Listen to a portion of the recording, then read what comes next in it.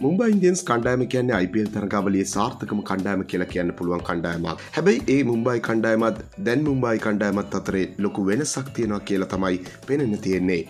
මුම්බයි අතීතයේ බලද්දී සචින් සනත් කියන ක්‍රිකට් පතාක යෝධයෝ දෙන්න කාලයක් මේ කණ්ඩායමේ ආරම්භක ප්‍රතිකරෝ දෙන්න වුණා. ඒ වගේම ලෝකයේ හිටපු හොඳම තුන්ගිරියව් ක්‍රීඩකයෝ වුණු ෂෝන් පොලොක්, ඩෙවන් බ්‍රාවෝ, කිරන් පොලාඩ් මුම්බයි කණ්ඩායම කාලයක් නියෝජනය කළා.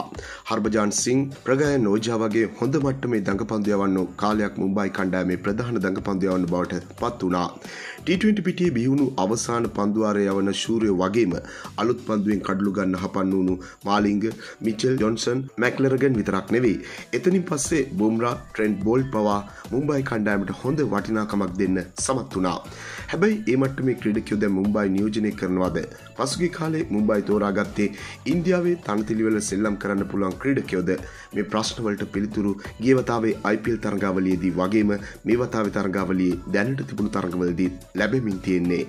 ඔස්ට්‍රලියාවේ බික් බෑශ්වල වැඩ පෙන්න්නපු ක්‍රීඩකයෝ එංගලන්තේ පන්දු සිය තරගාවලිය වැඩ පෙන්න්නපු පන්දයවන්නෝ මිලදීගෙන මුම්බයි වරද්ද ගත්තා කියන ප්‍රශ්නය තමයි තියෙන්නේ. රයිදු හර්භජාන් හර්දික් ඩීකෝ බෝල්ටගේ ක්‍රඩකයෝ තබානු ගැනීම වගේම පසුගේ කාලේ ආබාධයක් හිටපු ආච බුම්ර වගේ පන්දයවන්නු ගැන විශ්වාස කරලා සැලසුම් හදපු එකත් මුම්බයි කණ්ඩෑමට වැරදුණු තැන්. එදා ලසිත් මාලිංග වගේ T20 පිටිය වෙනස් කළ පන්දයවන්න යවපු පන්දුවාර දැන් යවන්නේ දැන් යවන්නේ අර්ජුන් ටෙන්ඩුල් කාලා. ඉන්දියාවත් පරණ වෙලා යල් පැනගිය පියස් චවුලලා මුම්බයි කණ්ඩෑමේ ප්‍රධාන දැක පන්දයවන්න වෙලා. මේ ඔක්කොම එක්ක රොහිත් ශර්ම දැන් කාලෙකින්දං අසාර්ථකයි.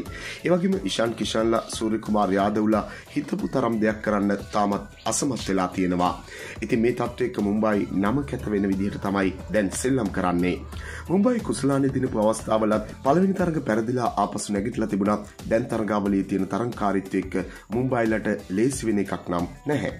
මේ වීඩියෝ දිනපතා බලන්න අපත් සමග එකතු වන්න. ඔබ තවමත් අපේ channel එක subscribe කරලා නැත්නම් දැන්ම අපිව subscribe කරන්නත් ක්‍රිකට් වලට කැමති ඔබේ යාළුවෙකුට බලන්න මේ වීඩියෝ එක share කරන්නත් අමතක කරන්න එපා.